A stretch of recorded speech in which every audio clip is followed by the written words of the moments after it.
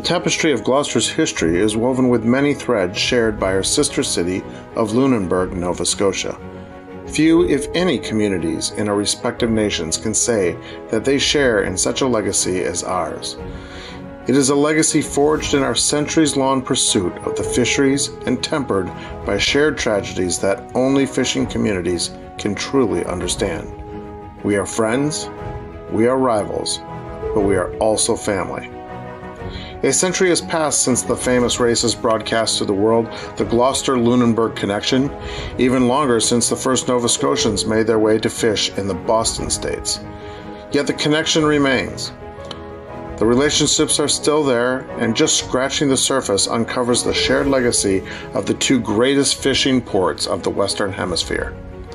Historians still discuss the fishermen's races, Sailors still admire our famous schooners, and both communities still play vital roles in our fishing fleet.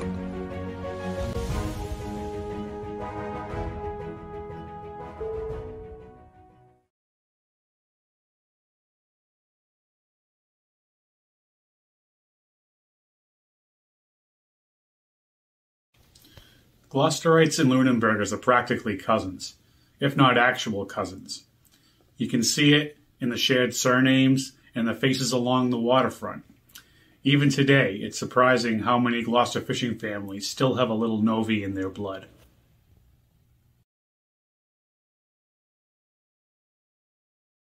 The second half of the 19th century saw incredible growth in Gloucester's fisheries, and with this growth came a need for more fishermen to man the fleet. The Gloucester fleet was no stranger to the fishermen of the Maritimes. For decades, the mackerel fleet made their way to the Gulf of St. Lawrence, and Gloucester schooners would often head to Lunenburg or Shelburne for bait and dories.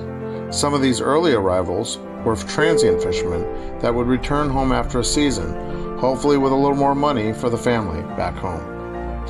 By the 1870s, Nova Scotian fishermen were making up more and more of the Gloucester fishing fleet. Gloucester's boom times of the 1880s drew fishermen from far and wide. They arrived on the waterfront ready to man the dories, with others destined to take the wheel. It was then that the Nova Scotian fishermen truly made their indelible mark on Gloucester's fishing history. Many of Gloucester's greatest highliners and sail handlers, including the skippers of the international fishermen's races, left their Nova Scotian fishing towns to make a name for themselves during this time. As Gloucester modernized its fleet during and immediately after World War II, its Novi fishermen traded in their schooners and dories for eastern rig draggers and nets. These were the boom years of redfish being sold as ocean perch to the American public and caught in the hundreds of millions of pounds to meet the demand. This ethnic subset of the larger fleet were known for their big draggers and their huge landings, helping Gloucester retake its lead over Boston in fresh fish.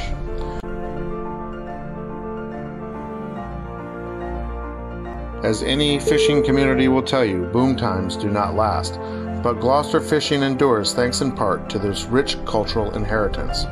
Generational fishing families, a colorful ethnic makeup, and the camaraderie formed from these shared experience still help shape 21st century Gloucester even beyond the waterfront.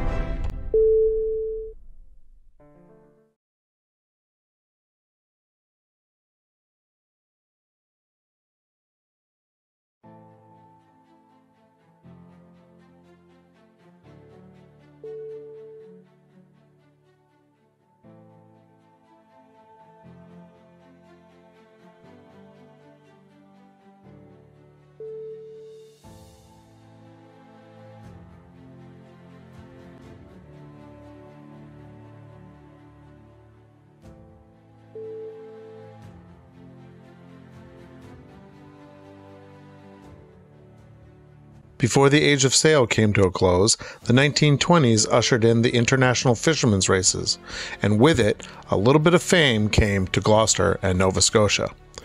It was a working class America's Cup, with finely tuned vessels built of solid oak, equally ready to race home from the banks or across the finish line.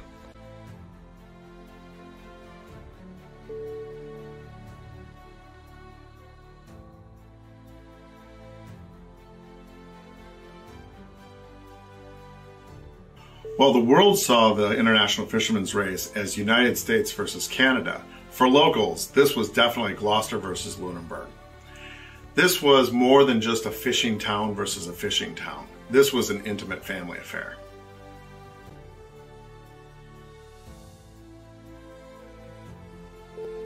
Although Boston attempted to compete with their schooner Mayflower, it was an insider's competition all along.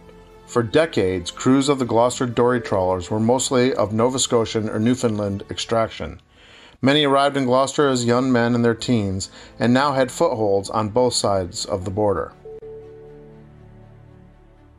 These so called whitewashed Yankees also made up a majority of Gloucester's best schooner captains. Among them were the skippers of the Gloucester contenders for the International Fisherman's Trophy Marty Welch of Elsie, Jeff Thomas of Puritan, and Clayton Morrissey of Henry Ford were all American citizens, but they were originally from Nova Scotia. The only outlier was Ben Pine of Columbia and the Gertrude L. Thebaud, and he was a Newfie.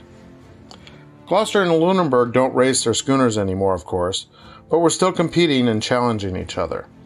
Since the 1950s, we've been racing each other in the most humble and yet iconic vessels in the history of the North Atlantic, the Bank Dory. Thanks to a fisherman's argument and a Lunenburg bar, our two communities now compete annually using that old workhorse of the schooner days.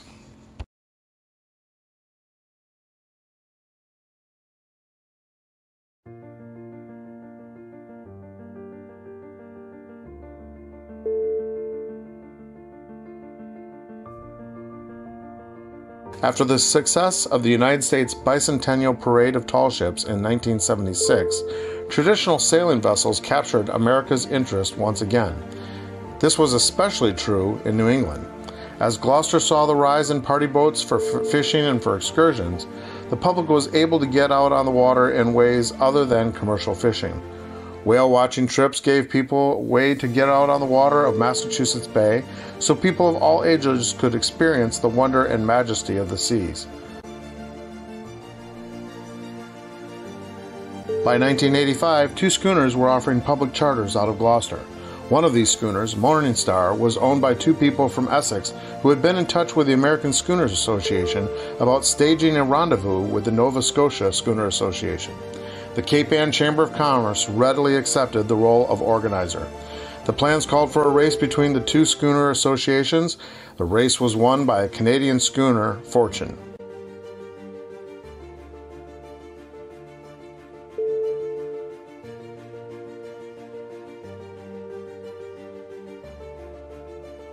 After a tremendously successful first year, a schooner festival was planned again for the following year, but it was to include many more schooners in various sizes, and the event was moved to Labor Day weekend. In a few short years, the Schooner Festival was embedded in the annual calendar as an important reunion of these vessels. For many on Cape Ann, it is a touchstone to the days of the fishing schooner. It serves as a joyous celebration of our maritime heritage, yet the underlying sentiment is a sense of honor and gratitude for they that go down to the sea in ships.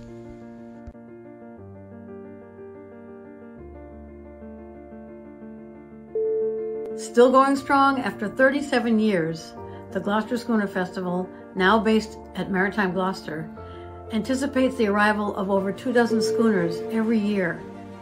Gloucester's favorite rival, the Bluenose II, has joined this gam on many occasions, and when she can return again, we will once more be in the company of our favorite friendly rival.